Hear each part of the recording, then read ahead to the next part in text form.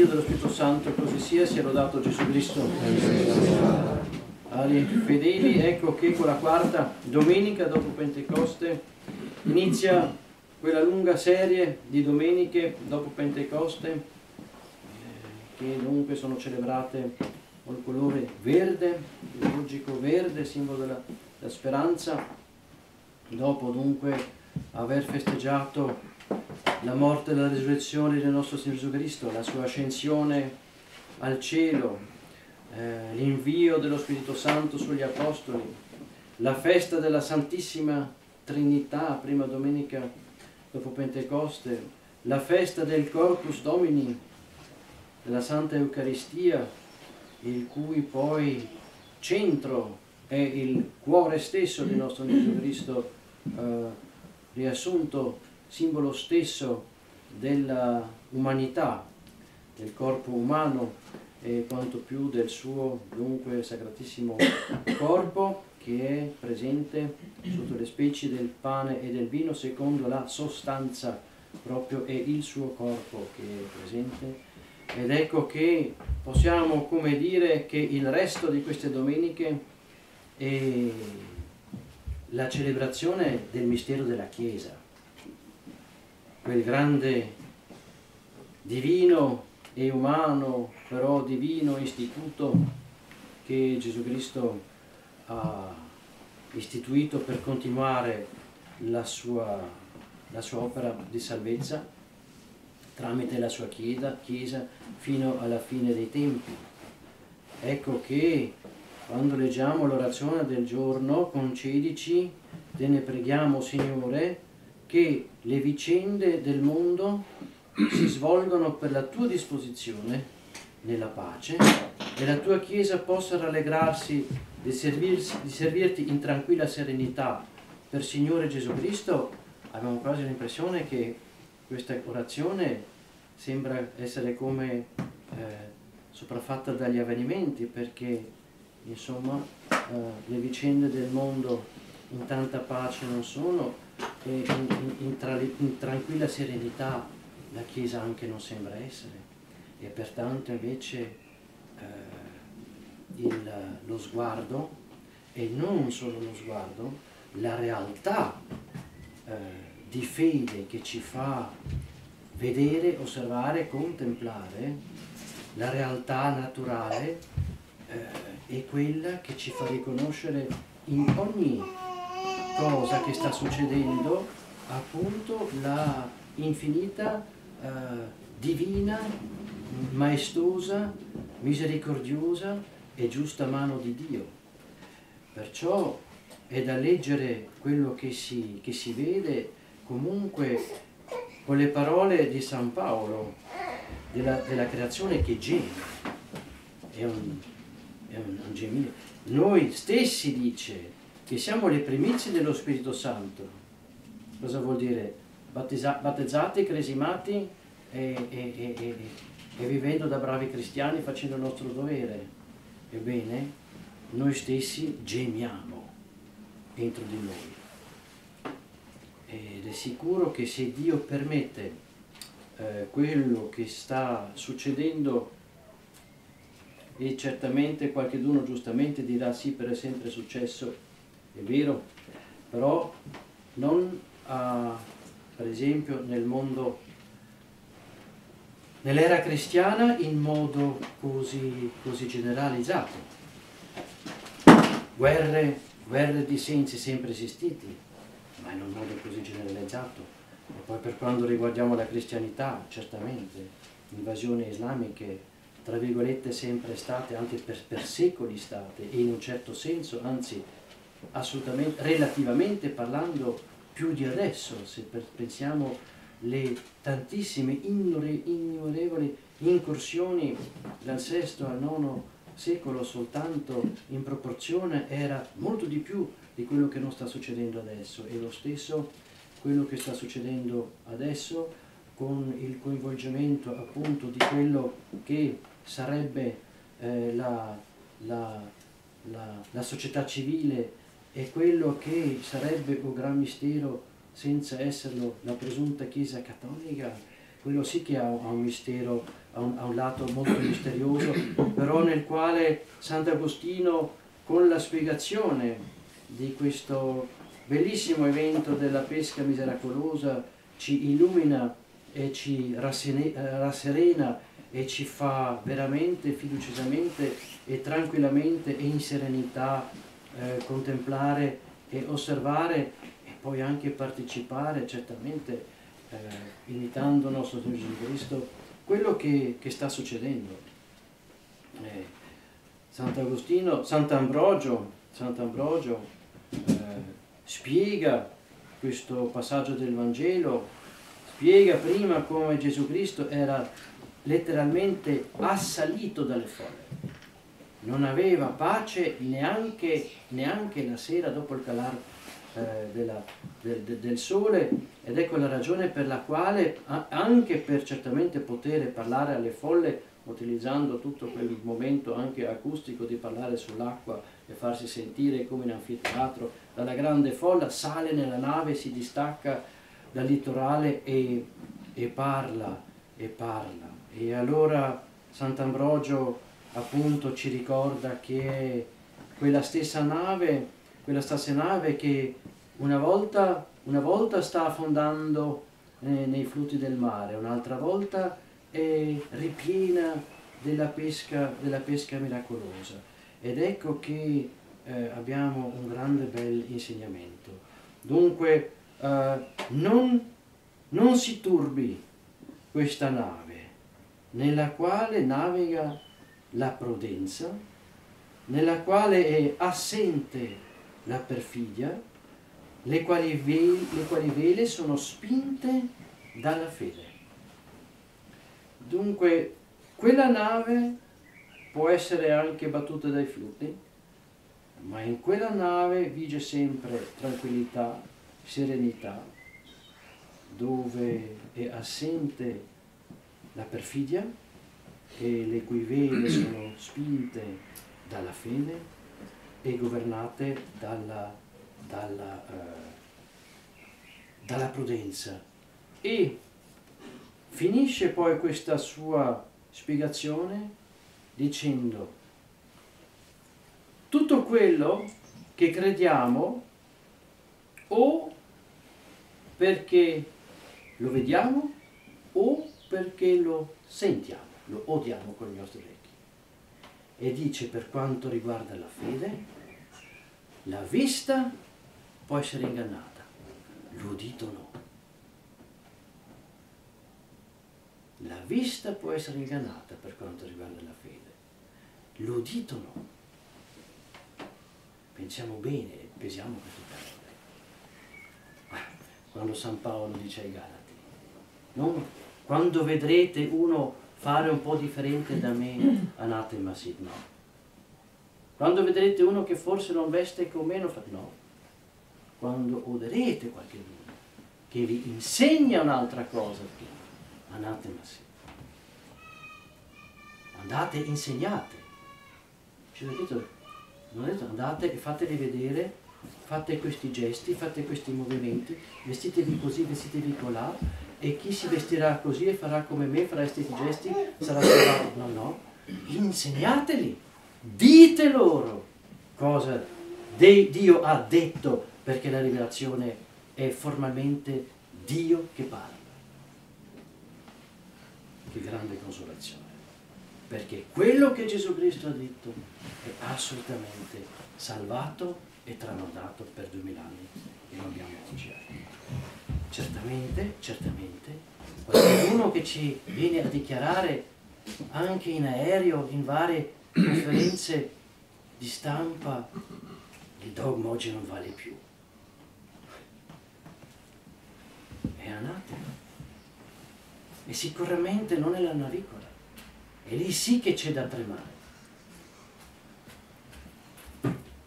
Chi, chi dichiara in aereo la, l'inferno è un lit, literal device, una espressione letteraria.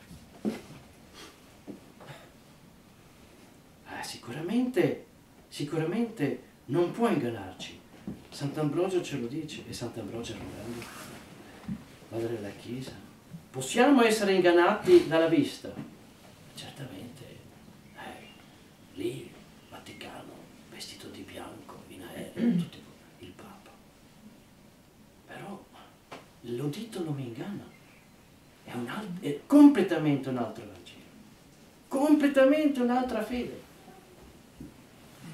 E allora cosa vuol dire tutto questo? Vuol dire che la nostra, la nostra più profonda serenità è sempre di più da cercare, cari fedeli, in Gesù Cristo, non in quel modo dissoluto e disperato, anche forse se in nuce, in principio, anche forse in buonissima fede eh, eh, carismatico, no?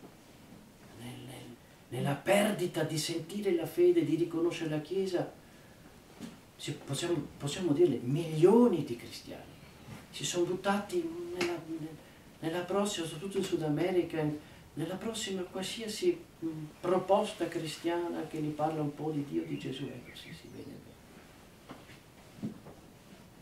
Però cosa c'è di vero in queste masse infinite, parliamo per esempio del Sud America, che sono gettate nelle, nelle sette? non cerchiamo qualche cosa ad aggrapparsi, no, tante volte c'è molto di più, c'è veramente il desiderio di aderire a Gesù Cristo, però ci vuole così poco per sbagliare.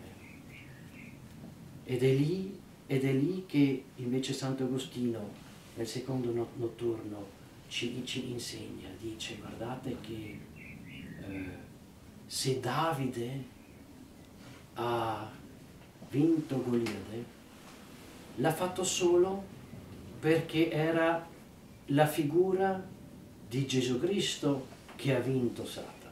Cosa vuol dire? Gesù Cristo ha vinto Satana e l'ha legato stretto. E Satana è legato stretto. E Sant'Agostino subito fa lui l'obiezione, l'obiezione dice, ma mi diranno, se Gesù Cristo ha vinto Satana, com'è possibile che tante anime errano, si perdono, peccano, muoiono, si dannano. Risponde Sant'Agostino con una semplicità sconcertante. Dice, certo dice, se il cane è legato alla catena e tu per negligenza e superficialità ti avvicini al cane a una distanza inferiore di quella catena, è sicuro che ti muori. Satana è allegato, purtroppo alla grande massa, ma non per cattiveria eh, escogitata con tanta malizia e tanta, tanta violenza, no, per negligenza e superficialità. Non si interessa delle poche verità rivelate. Dieci sono i comandamenti, non è il codice civile e penale che Dieci sono i comandamenti da seguire. Per negligenza e superficialità si dimentica, e poi non bisogna dimenticare che si dimentica di aver dimenticato. Questa doppia dimenticanza mette tranquilla la coscienza. Prima volta rubo del negozio da bambino, sto male 15 giorni. Seconda volta, però, era comunque buona sta mela, ne prendo ancora una, non mi ha detto niente a nessuno, va bene, ho passato un anno, si ruba ma, ma, ma allegramente. E così il bambino cosa siamo noi adulti? Le prime volte, seconda volta, e più si fa meglio, più si impara e più si prende anche familiarità e perfino anche comodità, anzi piacere nel peccare, diventa addirittura un piacere. L'inizio è sempre una piccolissima negligenza, una piccolissima superficialità. E tutte le cose non è che si fanno d'oggi domani, è una lunga storia.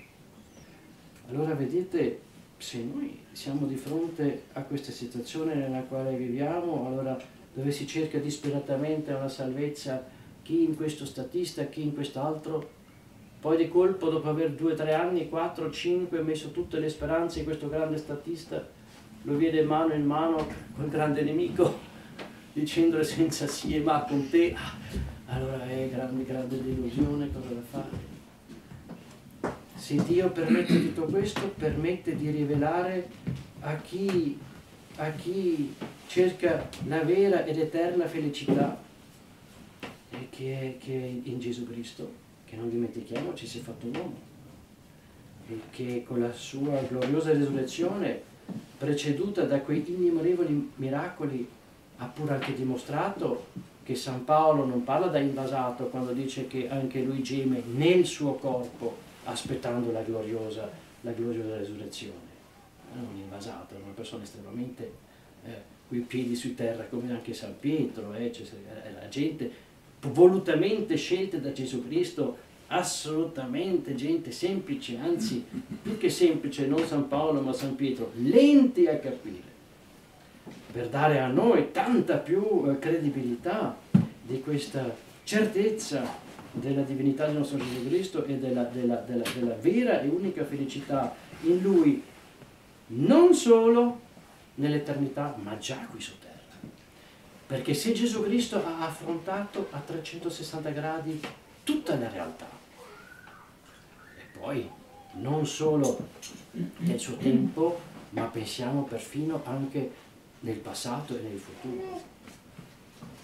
Con, molta, con molto rispetto, con molta riverenza, con le ginocchia piegate, ma non abbiamo paura, osiamo contemplare cosa succedeva in Gesù Cristo quando davvero l'uomo pensava, agiva, faceva, pativa. Ci spiega San Pietro Canisio in una bellissima lettura in quest'ottava del Sacro Cuore, che Gesù Cristo quando pativa, pativa e desiderava e gustava già la consolazione della Margherita Maria Lacocque, che in chiesa pregando consolava il divino cuore, ma non perché Gesù Cristo aveva bisogno di essere consolato, aveva voluto voler avere bisogno della consolazione, perfino che doveva scendere un angelo dal cielo per consolarlo e potergli fare reggere la, la passione. Ma perché lui non si è contentato di dire io vengo, pago il debito, strappo, stra, stra, strappo la fattura, il debito e dichiaro innocente il, il, il, il reo e la rea umanità, ma questa opera della redenzione non solo semplicemente ce la dà, ce ne fa partecipare. Lui vuole assolutamente, ed è rivelato, eh, noi dobbiamo completare nei nostri corpi quello che manca alla, alla passione del Cristo, non che lui non avesse già patito perfettamente e per tutta l'umanità, ma ha voluto la nostra partecipazione per la nostra salvezza. Chi ti ha, chi ti ha redento senza di te non ti salva senza di te, eh, dice, dice, dice, sempre Sant'Agostino. Allora tutto questo, cari fedeli, possiamo, no, dobbiamo veramente ammettere che eh, sono eh, realtà e verità rivelate che noi preghiamo e ricordiamo, che ci fanno comunque allora pregare con, con, con certezza l'orazione del giorno, concediti, te ne preghiamo Signore, che le vicende del mondo si svolgano per tua disposizione nella pace e la tua Chiesa possa rallegrarsi di servirti in tranquilla serenità. Eh sì, perché il cristiano che, che, che serve il suo Dio, qualsiasi sia la situazione, da glorioso trionfatore che avrà cacciato i musulmani dall'Europa o da suora umile nelle missioni alla quale viene tagliata la testa, sempre serena tranquillità il nostro Signore Gesù Cristo. E dobbiamo certamente aspirare a questa, a questa gloriosa liberazione del, del, della nostra eh, civiltà da, dall'invasione islamica e con loro mandiamo anche via quelli che ci hanno portati, benissimo. E al contempo nella stessa serenità nella quale Dio ce lo concedi, festeggeremo quella vittoria, anche eh, con il nostro Gesù Cristo saliamo in croce, con lui dobbiamo risorgere, con lui dobbiamo morire. Comunque qualsiasi cosa ci capita sempre in questa soprannaturale serenità dobbiamo essere. Lo so, parole. Perciò chiediamo per intercessione della Santa Vergine Maria di ottenerci la grazia di farlo e vivere nel nome del Padre, del Figlio e del Santo, così sia, salvato Gesù Cristo.